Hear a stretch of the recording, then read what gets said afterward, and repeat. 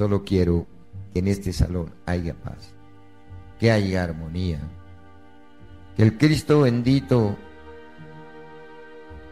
haga de cada uno de nosotros apóstoles de la humanidad, que todos nosotros podamos adquirir a través del paso por la vida la solvencia moral, esotérica, de llevar el estandarte de la gnosis bien en alto. Que vean un gnóstico y no vean a una persona, vean un ejemplo. Que donde digan maestro Samael, aparezca un estudiante diciendo, es mi maestro. Y no hay sea que pronto alguno diga, sí, yo también lo oí nombrar. Yo soy estudiante gnóstico. ¿Y qué enseña eso? Pues la gnosis es una escuela de regeneración. La gnosis es una escuela de regeneración. Pues una escuela donde nosotros aprendemos a aprender. Aprendemos a enseñar. Aprendemos a callar. Aprendemos a convivir. Y sobre todo, aprendemos a amar a la humanidad. Cristo bendito el día que este pueblo se levante hacia la esfera más elevada del ser y del saber. Cada uno de nosotros iremos con esa gema en la mano para entregársela a nuestra bendita Madre como símbolo del alma para que ella a su vez se la entregue al león de la ley y nos excluya de todas las faltas o pecados que hemos cometido en el paso por la vida. Queremos, queridos hermanos, que esta estadía en el monasterio como todas las que han habido y las que seguirán habiendo, sean para que nuestra alma se nutra de una fuerza conjunta que formando una cúpula perfecta se eleva a las esferas más elevadas del conocimiento objetivo. Queremos que este silencio que se percibe en los sentidos, en el corazón y en nuestra conciencia, no sea un silencio emanado de la soledad, sea un silencio emanado del Espíritu, para que nos podamos conectar con Él en una perfecta meditación. Estamos presentando a nombre de la venerable logia blanca y siguiendo estrictamente orientaciones eh, en relación a lo que son, han sido, son y deben ser en realidad las comunidades no. Seguimos insistiendo que el pueblo gnóstico debe formar comunidades. Pero sinceramente, el primero, yo le he dicho a los muchachos, hasta me he arrepentido haber sido tan abierto a la cuestión de las comunidades sin antes haber tenido la instrucción que hoy tengo para tratar de poder presentar una comunidad verdaderamente en el orden que debe ser. Fíjate que Bolívar decía, quien quiera hacer una cosa bien hecha, hágala dos veces. Si hoy yo voy a formar una comunidad, yo creo que la haría bien hecha. O a lo menos con menos posibilidades de que se nos infiltre uno o dos personas malsanas de malos sentimientos y dañen la imagen de un grupo de hombres y de mujeres deseosos verdaderamente de vivir una vida eh, integrada como debe ser una comunidad. Entonces, pónganme bien cuidado los hermanos que están formando comunidades y todo aquello, porque yo estoy dando esto y a mí se me dijo, es obligatorio esto y sino que no se hagan comunidades, porque no les van a servir. No es cuestión de que alguno diga, no, yo la formo y yo tengo eso. Ensáyenlo a ver si con la ayuda interna, si con la ayuda del cielo puede mantener lo que uno cree que es capaz de hacerse en aquello. Aquí Yuri va a leer, espero que se tenga muy cuidado con lo que se está escuchando, porque eso a partir de hoy, 26 de diciembre del 2002, es una orden de la venerable LB que se debe de cumplir para bien de ese plan divino de que las comunidades existan para un auxilio a quienes viven en la comunidad y un auxilio a los hermanos que viven en las ciudades que necesitan de sitios adecuados para sus retiros espirituales. Es un plan que se tiene que sacar lo más pronto posible en vista de que el pueblo tiene que ser preparado para ese gran salto que hay que hacer.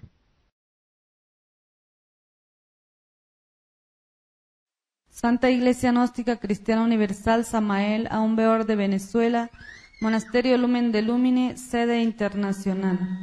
Decreto Ley.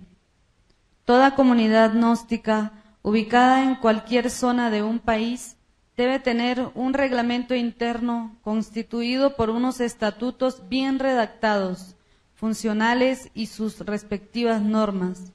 Estos estatutos deben estar respaldados por una personería jurídica estas comunidades deberán tener una junta administrativa y una junta esotérica. Toda persona que aspire a habitar en esa comunidad deberá solicitarlo por escrito a la junta administrativa y junta esotérica de la comunidad y expresar si está dispuesta a cumplir y obedecer la directriz que allí existe y la junta en pleno dará la aceptación o negación. En ningún momento una sola persona de dicha junta debe tomarse la vocería de aceptar o negar a tal persona. Estas comunidades deberán tener sus nombres acorde con el propósito de la venerable logia blanca, que es la de ir formando vórtices magnéticos y lugares apropiados para el trabajo de la misma comunidad y de quienes la visiten, como son retiros espirituales e integraciones con la naturaleza. A este decreto ley se le deberá dar estricto cumplimiento a partir de esta fecha y si en algún lugar no, se hace cumplir esto, podemos estar dispuestos a que dicha comunidad no pueda cumplir con ninguna función de tipo espiritual. Donde las comunidades ya estén formadas, todos los miembros que la componen deberán cumplir con este requisito. Quien no lo cumpliere deberá disponerse a salir de ella de inmediato, dado, firmado y sellado en el monasterio Lumen de Lumine a los 26 días del mes de diciembre de 2002. Venerable Maestro Lasmi, guía espiritual. El cerebro y la columna espinal del ser humano. Ahí está. Ahí está la base de todo. De donde se desprende el árbol sefirótico de la vida. Todo lo que se abre de ahí Ahí está pues. ¿Y qué han hecho? ¿Qué han hecho la humanidad? Utilizar el Cristo para combatir al Padre. ¿Ven? Hacen grandes brutalidades a nombre del Cristo para combatir a Dios. Hacen grandes guerras atómicas, mortíferas, diciendo que Dios y que Alá les ordena hacerlo. ¿Cuántas barbaridades a nombre de la Biblia. ¿Por qué? Por la ignorancia. Entonces esas personas no son culpables. Son los traidores que nos han mantenido en tinieblas, los que los desenmascararemos ante este pueblo santo que nos entiende. Es eso. Ahí, fíjense ustedes, ahí andan. Ayer me presentaba una señorita por ahí, unas cartitas que parecen naipe, que los están vendiendo en las puertas de los colegios, con puros mensajes subliminales para que los niños los tengan. Esas cosas tenemos que desenmascararlas. Si ustedes llegan a comprender verdaderamente todo lo que pasa en las cintas de la televisión, ustedes ponen ese televisor allá para decirle aquí estoy, pero no soy su esclavo. Puros mensajes subliminares de guerras, de violencia, de violaciones y de pasiones. Eso es lo que hay. ¿Quién tiene algo que decir?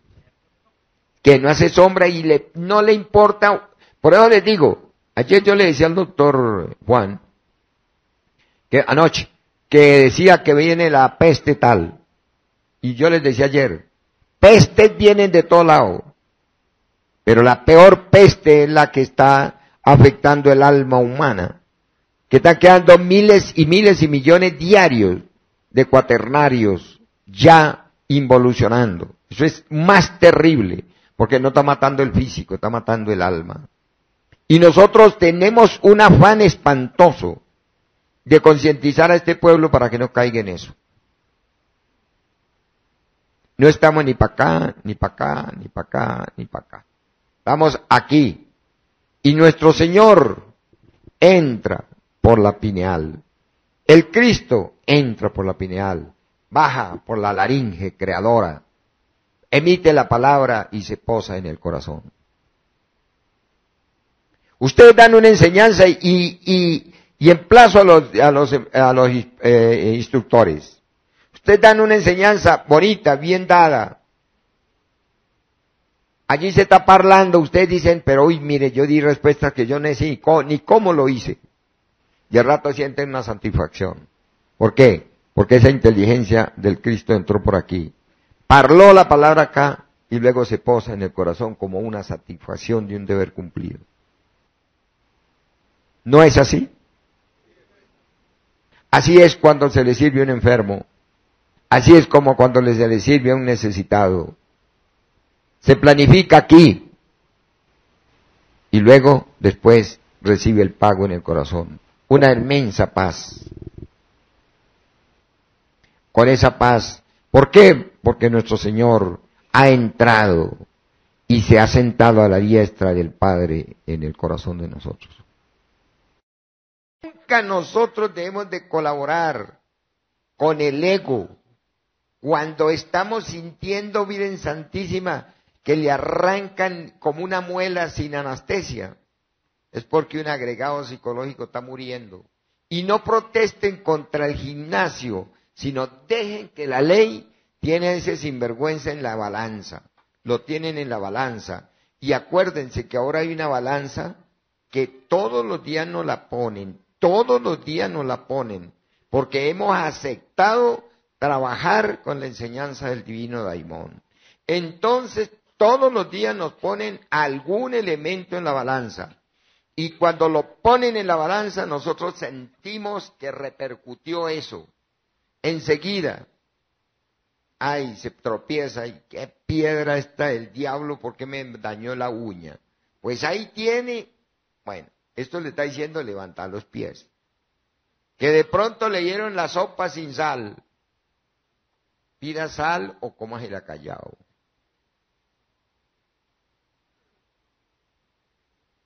Entonces, yo creo que, ¿qué dice Alfredito? que haberlo, porque hemos aceptado trabajar con unos elementos y le hemos dicho, Alfredo se, se compromete a trabajar, a trabajar aquí contra la gordura.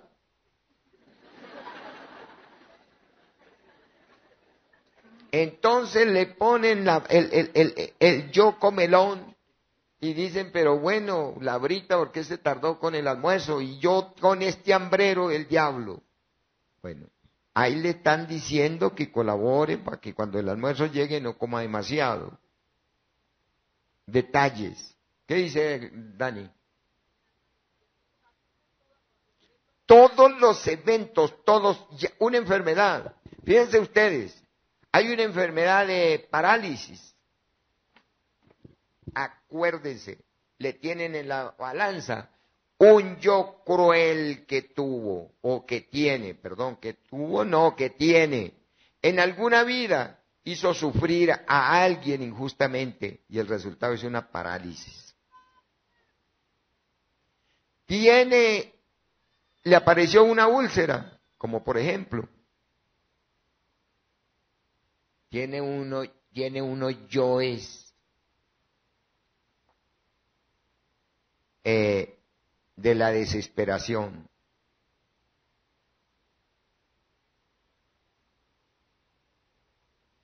Apareció con diabetes, por ejemplo, también. Tiene karmas de vidas pasadas o karmas del presente, sufrimientos, claro. Generalmente los iniciados sufrimos demasiado moralmente, porque cuando uno comprende esto, ya le han dañado el cuerpo. Vea pues, yo hubiera comprendido esto que estoy hablando hoy, le juro que no se me hubiera dañado el cuerpo. Pero yo amarraba esa diablera, los tenía callados y sufría moralmente las 24 horas del día.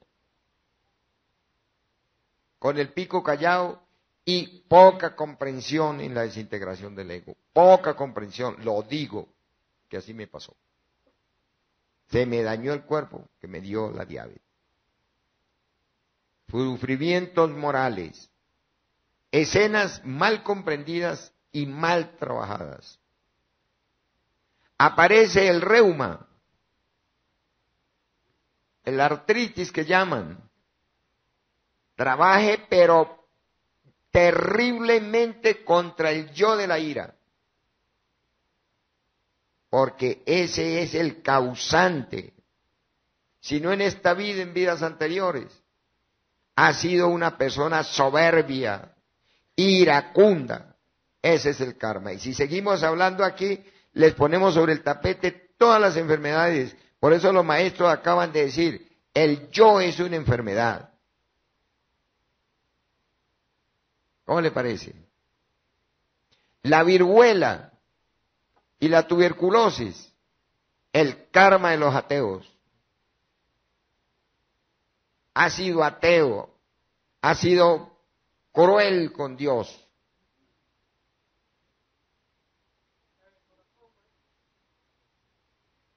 Un amor que no lo quiso.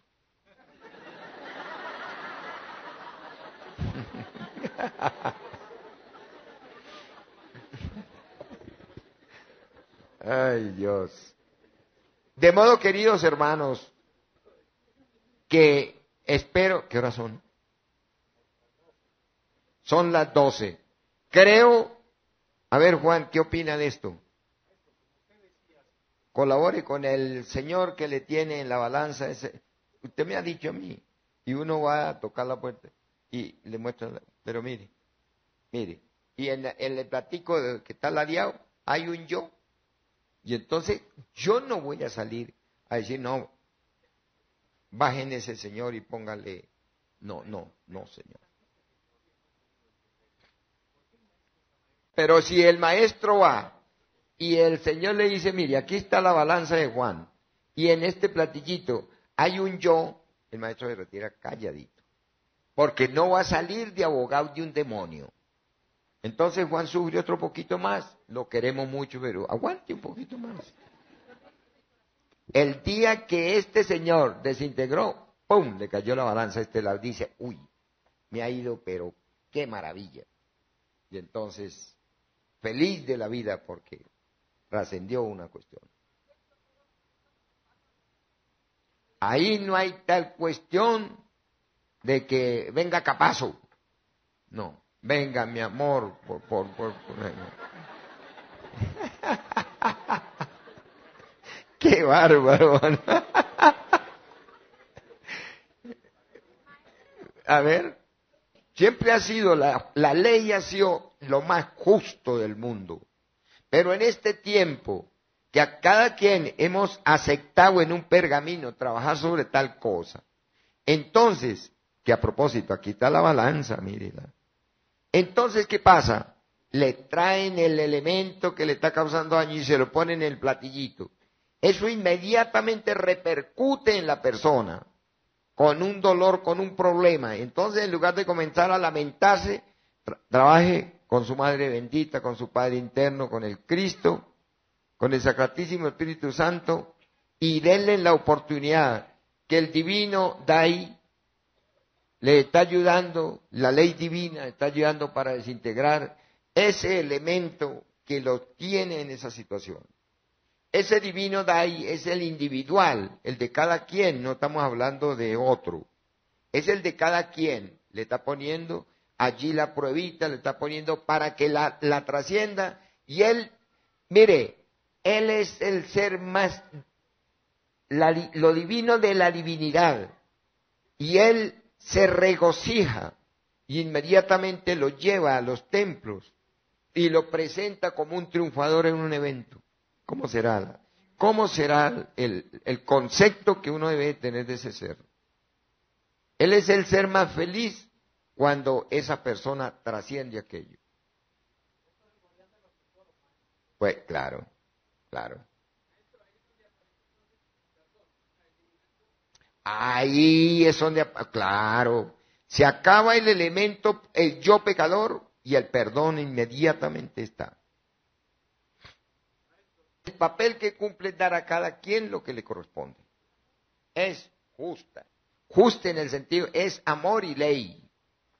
El que hay que darle amor son un mar de amor, pero el que, hay que darle justicia le ponen allí lo que tiene que pagar. ¿Qué más hay por ahí? Ese, ese comportamiento en la vida diaria verdaderamente es un ser logrado. Claro, claro, claro. El amor, el dolor moral es el amor propio y la falsa personalidad allí asesorando un demonio que tienes que morir. Queridos hermanos, que mi Dios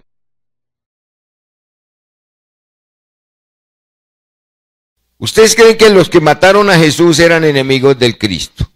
No, Señor, eran los amigos, los que amaban al Cristo, los que querían al Cristo.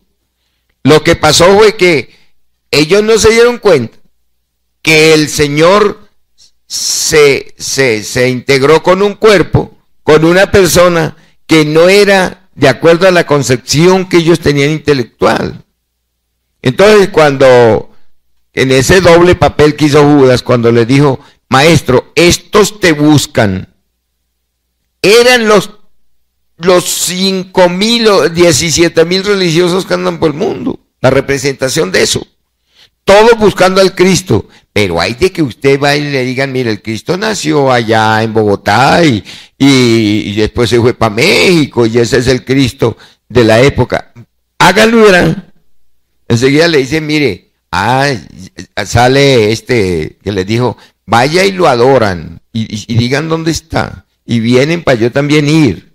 Pero él va con sus soldados para quitarle la cabeza. Es el misma, la misma, el mismo época con, con un drama un poquito distinto. La misma cosa. Lo agarraron, lo torturaron, lo mataron, porque no lo reconocieron. Pero él era. Entonces, se echaron un karma por haberlo matado se echarían un karma por ahí. ¿Sabe cuál fue el karma que se echaron? Haber matado una persona. Claro, el Señor dijo, ay de ti Jerusalén, por haber venido y no haberme aceptado, no quedará ni piedra ni sobre piedra, pero de toda la humanidad, no de los que lo mataron. Los que lo mataron ante Dios se echaron el, karma de uno, uno que mataron, pero como iba la buena fe, Mataron el que ellos no aceptaban. Ellos no lo aceptaron como tal. Les cobran esa persona. Pero la ignorancia no la cobran a todos. y uno dice, malditos porque lo mataron. Y no, no estamos nosotros metidos ahí. No, hay que no está de acuerdo. ¿Cuánta gente, gnósticos, he oído yo de que dicen, directivos de alto nivel, diciendo que a Jesús lo amarraron fue los brazos porque han hecho estudios y de acuerdo a la anatomía y a la resistencia de los músculos y no sé qué, no podía sostener un clavo en la mano y en los pies el peso de un hombre que pesaba 80 kilos. Ve la lógica que le meten. Eso es no creer uno en él. Luego estaban colgando el hijo de la vecina allí. El barrendero del parque estaban colgando. Si él había podido quedarse ahí sin que lo tuvieran clavando y estarse ahí. Mire, desde que sigamos con esa falsa eh, concepto, ay, es que como estoy dormido, eso está originando es un espantoso karma en nosotros. Eso es que, es que como tengo el ego, eso está originando un espantoso karma ante nuestra Madre Divina. Porque bueno, si uno tiene, si se entró una víbora a la casa, que no entró porque la víbora está en la casa. Ay, es que tengo una culebra en la casa, porque no hay la saca. Si le da miedo, llame los bomberos y que la saquen ellos. Pero ¿por qué tiene ese cuerpo extraño en la casa? ¿Por qué uno se sigue quejando? Mire lo que es la, perdonen el término, la brutalidad de uno. Es que como tengo el ego, que como tengo el ego, ¿Por qué no dice, es que como tengo a Dios, tengo que ser bueno? Afirme a Dios. Es que como tengo a Dios, no me puedo comportar de mal. Si es que eso tampoco es para decirlo, pero imaginemos, ¿por qué no dice lo otro? Porque como tenemos tanta negatividad, entonces el ego no, no, no, no me venga a meter ese señor aquí en mi casa, le dice el ego. Y no, no, no esté nombrando ese señor porque qué viene él a hacer. Porque como él se siente dueño y hasta así es dueño.